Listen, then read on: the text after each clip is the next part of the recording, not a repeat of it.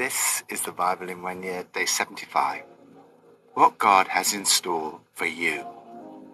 Sam, aged 23, was a militant atheist. He associated himself with the teachings of fervent opponents of faith and religion. One evening he went online and discovered that Alpha was about to start within easy access of his home. He turned up at our church thinking, I'm going to take down a few irrational Christians here. But his encounter with the teachings and person of Jesus Christ was not what he expected. On his questionnaire at the end of the course, he wrote, I found the draw of Jesus irresistible and have gone from being someone with no faith to someone with an immense hope. To live in a state of non truth to living in truth is, to me, the difference between being bound to complete freedom. Three months later, he was baptized. He told me, I'm free of my previous life. I was a slave to a lot of things. I was a slave to society, a slave to my peers. Now I'm free to live my life. I'm excited to see what God has in store for me. Salvation means freedom. Sam had an experience of how Jesus Christ sets us free. From Psalm 34 Come, my children, listen to me. I will teach you the fear of the Lord. Whoever of you loves life and desires to see many good days, keep your tongue from evil and your lips from telling lies. Turn from evil and do good. Seek peace and pursue it. The eyes of the Lord are on the righteous, and his ears are attentive to their cry. But the face of the Lord is against those who do evil, to blot out their name from the earth. The righteous cry out, and the Lord hears them. He delivers them from all their troubles. The Lord is close to the broken-hearted and saves those who are crushed in spirit. The righteous person may have many troubles, but the Lord delivers him from them all. He protects all his bones. Not one of them will be broken. Evil will slay the wicked the foes of the righteous will be condemned. The Lord will rescue his servants. No one who takes refuge in him will be condemned. Live a life of freedom. Are you facing major challenges in your life? Perhaps to do with your finances, relationships, health, family, or some other difficult situation. This psalm is full of guidance and wonderful promises to those who face many troubles. The Apostle Peter quotes this psalm in one of his letters as evidence of the kind of life we should lead, a life that reflects our new freedom as children of God. Peter introduces David's call to righteous living with the explanation that it is to this you were called. Whoever among you loves life and desires to see many good days, keep your tongue from evil and your lips from speaking lies. Turn from evil and do good. Seek peace and pursue it. The eyes of the Lord are on the righteous, and his ears attentive to their cry. The face of the Lord is against those who do evil. The Lord saves. You cannot save yourself. It is the Lord who sets you free. Our God rescues us. He watches over you, waiting to hear your prayer. His ears are attentive to your cry. When we do cry out, the Lord hears and delivers us from all our troubles. I find it so helpful to look back over the years at various troubles I've written down in the margins of my Bible and to see how God has delivered me. It encourages me to cry out again. God does not say there won't be any troubles, but he does promise to deliver you from them all. He's especially close in the tough times. The Lord is close to the broken-hearted and saves those who are crushed in spirit. When you're going through a difficult time, you may not necessarily feel God is close, but He is. God is there every time. God pays for each slave's freedom. He promises that there's no condemnation for those who take refuge in Him. You have a righteousness from God through Christ. Hence, you can include yourself in the category of the righteous. Lord, thank you for the many times I've cried out to you, and you have heard me and set me free. Help me today to keep my tongue from evil, to do good, and to seek peace. Help me to live in harmony with others, not to repay anyone evil with evil or insult with insult, but rather with blessing. Thank you that it is for a life of freedom that Christ has set me free. New Testament from Luke 1. When it was time for Elizabeth to have her baby, she gave birth to a son. Her neighbors and relatives heard that the Lord had shown her great mercy, and they shared her joy. On the eighth day, they came to circumcise the child, and they were going to name him after his father, Zechariah. But his mother spoke up and said, No, he is to be called John. They said to her, There is no one among your relatives who has that name. Then they made signs to his father to find out what he would like to name the child. He asked for a writing tablet, and to everyone's astonishment, he wrote, His name is John. Immediately his mouth was opened and his tongue set free, and he began to speak, praising God. All the neighbors were filled with awe, and throughout the hill country of Judea, people were talking about all these things. Everyone who heard this wondered about it, asking, What then is this child going to be? For the Lord's hand was with him. His father, Zechariah, was filled with the Holy Spirit and prophesied. Praise be to the Lord, the God of Israel, because he has come to his people and redeemed them.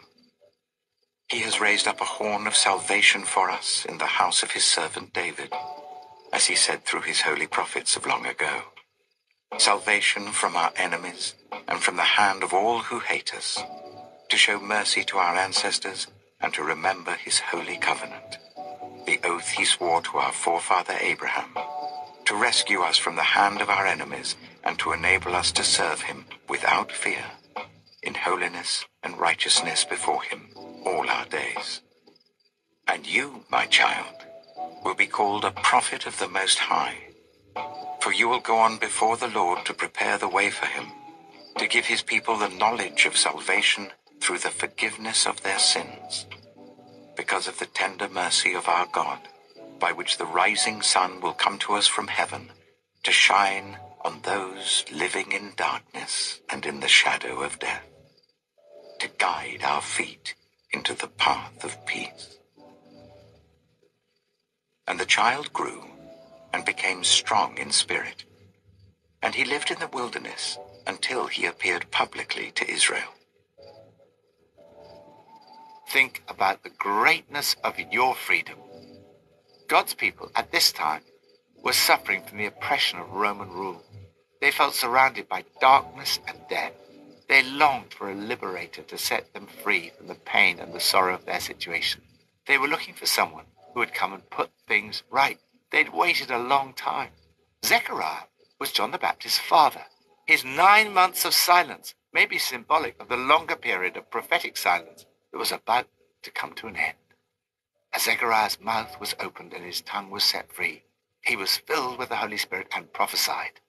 The birth of John the Baptist was an occasion of great celebration, joy, and expectation. When Zechariah, unable to speak, wrote, His name is to be John, it took everyone by surprise. Surprise followed surprise. Zechariah's mouth was now open, his tongue loose, and he was talking, praising God. Even John's name was an expression of God's blessing. It means the Lord is a gracious giver. It was said of John the Baptist, the Lord's hand was with him. That's a good prayer to pray for yourself, your family, and your community, that the Lord's hand will be with you. Zechariah was filled with the Spirit and prophesied that salvation was coming. He said, He sets the power of salvation in the center of our lives. John the Baptist was to present the offer of salvation to his people, the forgiveness of their sins. Zechariah sees that God is coming to bring salvation to his people. But his prophecy goes well beyond political salvation. Something far deeper and wider is about to happen, fulfilling the great promises of the Old Testament. It will involve redemption, rescue from enemies, and forgiveness of sins. Salvation is the path of peace. Zechariah, in this description of salvation, summed up so many of the freedoms that Jesus would bring to us. Freedom from fear, freedom to serve God, freedom to be holy, freedom to be righteous, freedom from death. Praise you, Lord. that you have rescued me from slavery and shown me mercy. Thank you for forgiving my sins. Thank you that you give me freedom from death and fear. Thank you that you set me free to serve you. Help me today to serve you without fear in holiness and righteousness and guide my feet into the path of peace. May your hand be with me. Old Testament, Numbers 4 and 5. The Lord said to Moses and Aaron, Take a census of the Kohathite branch of the Levites by their clans and families. Count all the men from 30 to 50 years of age who come to serve in the work at the tent of meeting. This is the work of the Kohathites at the tent of meeting, the care of the most holy things. When the camp is to move, Aaron and his sons are to go in and take down the shielding curtain and put it over the Ark of the Covenant law. Then they are to cover the curtain with durable leather, spread a cloth of solid blue over that, and put the poles in place. Over the table of the presence they are to spread a blue cloth and put on it the plates, dishes, and bowls, and the jars for drink offerings. The bread that is continually there is to remain on it. They are to spread a scarlet cloth over them, cover that with durable leather, and put the poles in place. They are to take a blue cloth and cover the lampstand that is for light, together with its lamps, its wick trimmers and trays, and all its jars for the oil used to supply it. Then they are to wrap it and all its accessories in a covering of durable leather, and put it on a carrying frame. Over the gold altar they are to spread a blue cloth and cover that with durable leather and put the poles in place.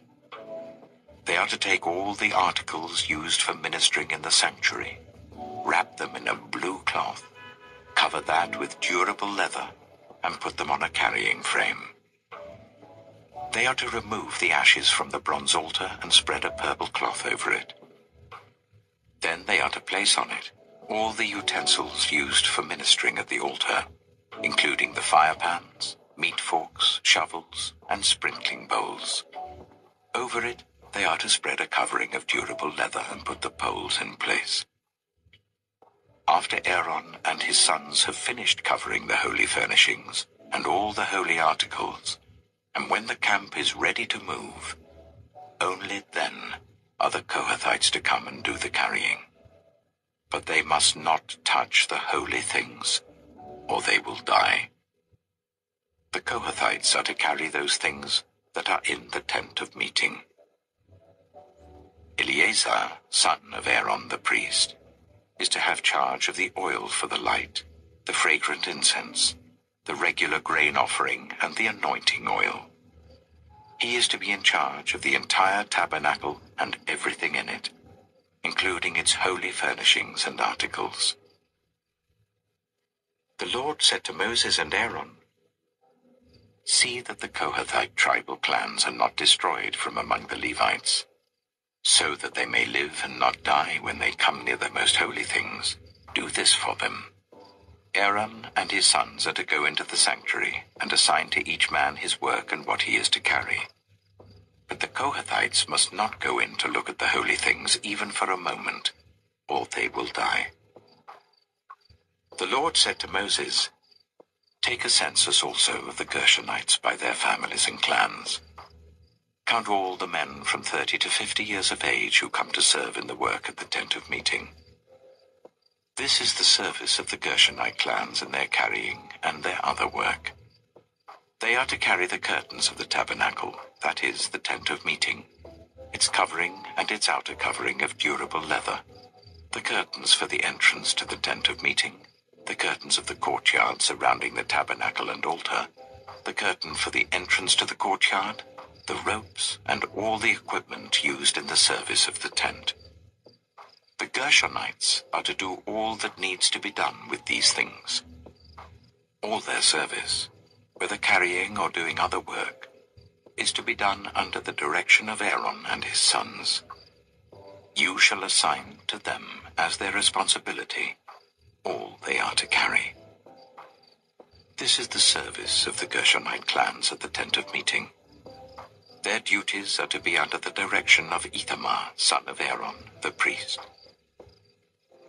Count the Merarites by their clans and families. Count all the men from 30 to 50 years of age who come to serve in the work at the tent of meeting. As part of all their service at the tent, they are to carry the frames of the tabernacle, its crossbars, posts, and bases, as well as the posts of the surrounding courtyard with their bases, tent pegs, ropes, all their equipment, and everything related to their use. Assign to each man the specific things he is to carry. This is the service of the Merarite clans as they work at the tent of meeting, under the direction of Ithamar, son of Aaron, the priest.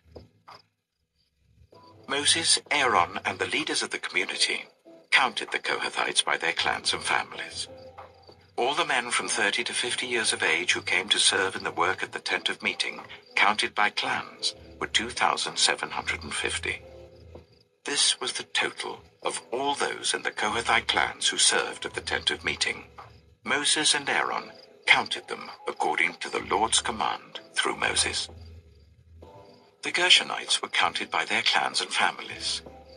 All the men from 30 to 50 years of age who came to serve in the work at the tent of meeting, counted by their clans and families, were 2,630. This was the total of those in the Gershonite clans who served at the tent of meeting. Moses and Aaron counted them according to the Lord's command. The Merarites were counted by their clans and families. All the men from 30 to 50 years of age who came to serve in the work at the tent of meeting, counted by their clans, were 3,200. This was the total of those in the Merarite clans. Moses and Aaron counted them according to the Lord's command through Moses. So Moses, Aaron, and the leaders of Israel counted all the Levites by their clans and families. All the men from 30 to 50 years of age who came to do the work of serving and carrying the tent of meeting, numbered 8,580.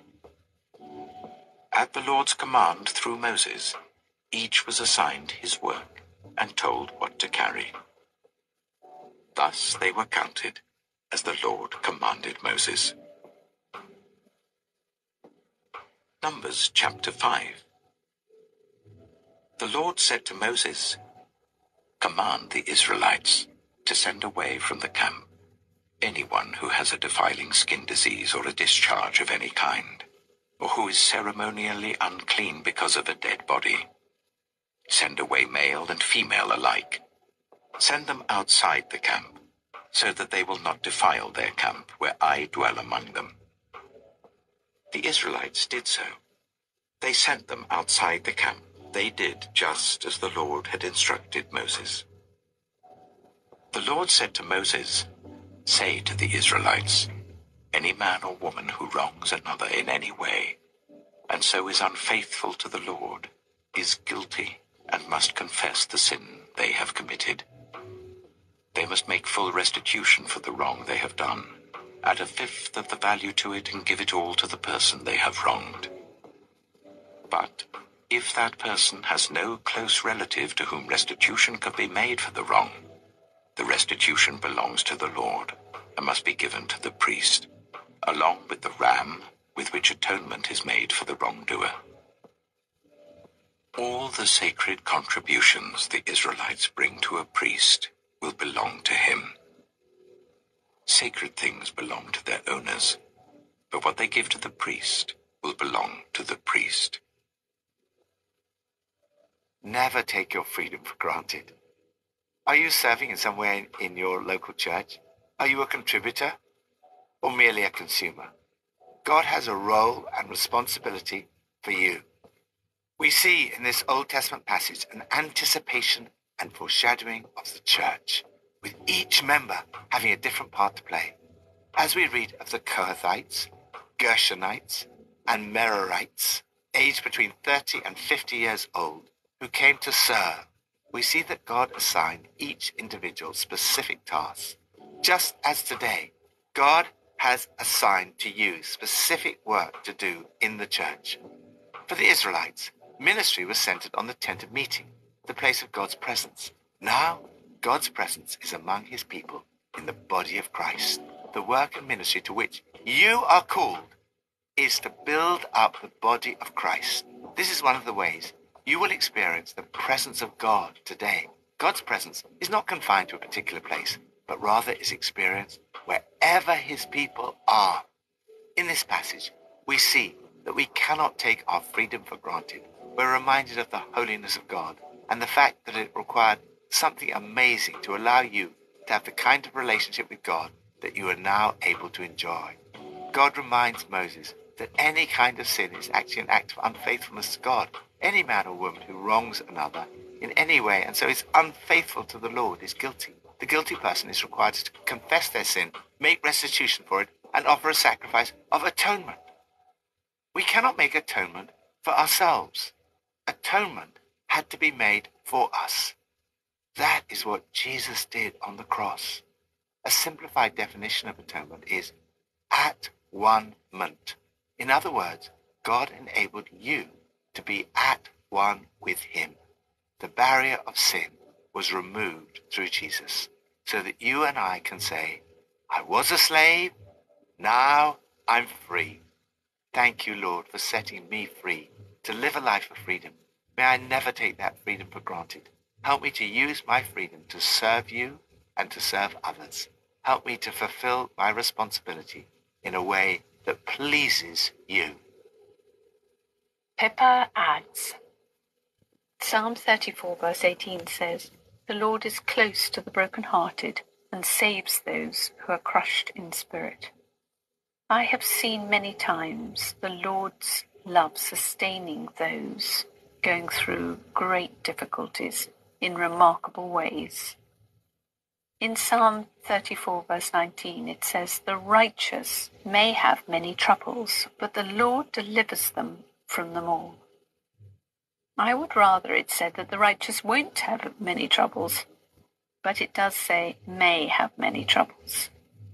I think if we didn't go through difficult times,